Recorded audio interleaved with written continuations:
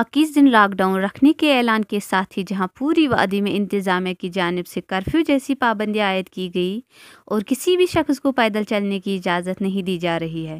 وہی دوسری جانب سری نگر، جموں قومی شہرہ پر جہاں دن بھر ہزاروں گاڑیاں چلتی نظر آ رہی تھی آج اس شہرہ پر سناٹا چھایا ہوا ہے۔ دنیا بھر میں تیزی سے پھیل رہا کورونا وائرس سے بچنے کے لیے پرائم منسٹر نریندر مودی کی طرف سے پورے ملک میں اکیس دن لاک ڈاؤن رہنے کا اعلان کرتے ہوئے لوگوں سے اس وبا سے بچنے کے لیے گھروں میں رہنے کی اپیل کی۔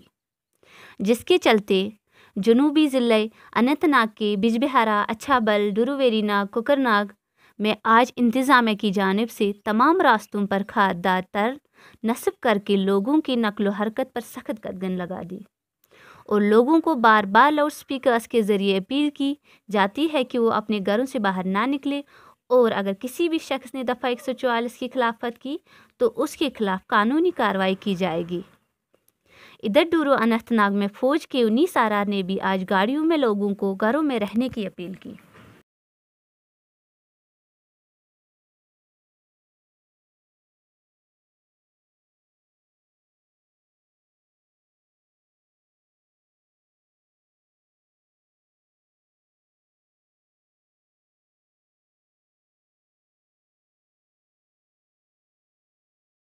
لازوال اردو نیوز یوٹیوب چینل کو سبسکرائب ضرور کریں اور بیل آئیکن پر کلک کریں۔ بیل آئیکن پر کلک کرنے سے آپ کو تازہ ترین خبروں کی فوری جانکاری ملے گی۔